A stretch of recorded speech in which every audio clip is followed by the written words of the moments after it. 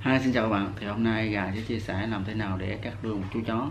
Thì không phải loài chó nào các bạn cũng nên cắt. Thì một số loại thì à, bắt buộc phải cắt tại vì nó làm nhiệm vụ, thì nó sẽ thuận tiện hơn trong công việc. Còn một số loại thì cắt vì nó tạo cái vẻ đẹp. Thì hôm nay mình sẽ chia sẻ cách làm thế nào để cắt một chú chó mua đồ. Không phải con này. Để mà cắt đuôi chó thì chúng ta sẽ chuẩn bị những cái dụng cụ như là kẹp và một cái thuốc đỏ. Nếu mà các bạn mà chưa quen với việc cắt cái cái kẹp này á, thì chúng ta có thể là thắt dây thun. Bộ dây thun á, thì phải mất 4 năm ngày mà nhiều khi là buộc xong á. À, các bạn chưa bộ không chặt á thì nó sẽ dễ bung mũ và nó dễ thất bại lắm. Nên mình thì mình dùng cái kẹp này thì dễ hơn.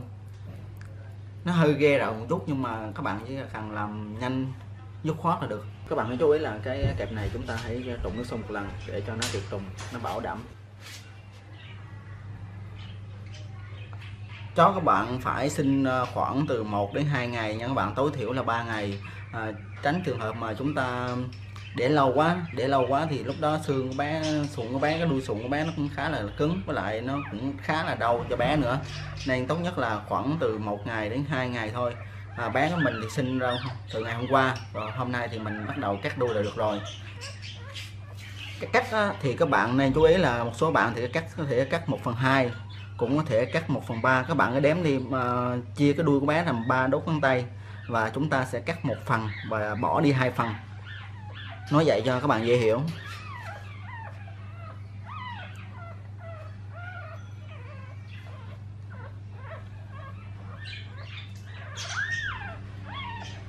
Và các bạn lưu ý là cho con các bạn cũng phải là khỏe mạnh nha các bạn. À, mấy bé yếu thì đừng có nên cắt tại vì nếu mà yếu quá thì nhiều khi cắt các bạn à, không có quen làm cho bé nó đau.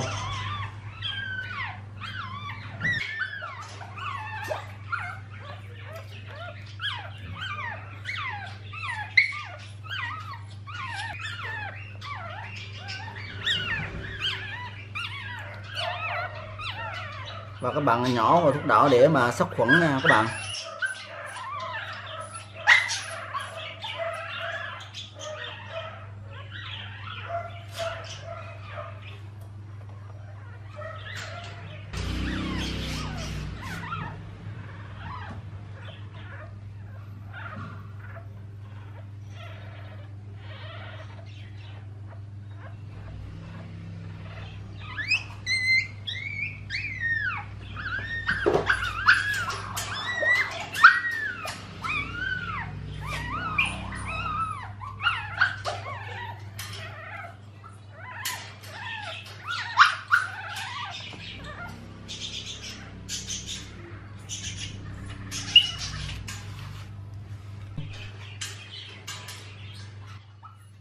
Cái đuôi lúc này là nó chỉ là cái sụn thôi nha các bạn. Nó không có đau làm gì, đau nhiều cho các cho con.